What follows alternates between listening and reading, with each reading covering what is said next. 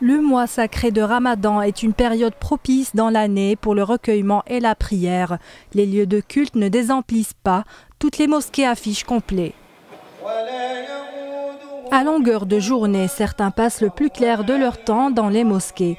Un moment de communion avec le Très-Haut, un temps partagé entre les prières, l'écoute des prêches et la lecture du Coran.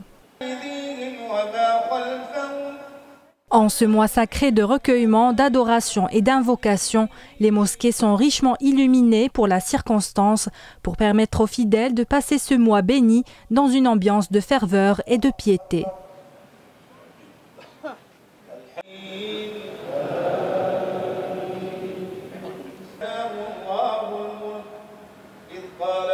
Le ramadan, c'est également une forte affluence des fidèles vers les mosquées, notamment pour la prière des l'Isha et les tarawih après le ftour. Certains parents tiennent à accompagner leurs enfants vêtus à la traditionnelle en toute quiétude et convivialité. Les dix derniers jours du mois de Ramadan vont bientôt connaître une forte affluence dans les mosquées où s'activent les cérémonies de lecture collective du Saint-Coran, le tout dans un climat empreint de spiritualité et de bénédiction divine.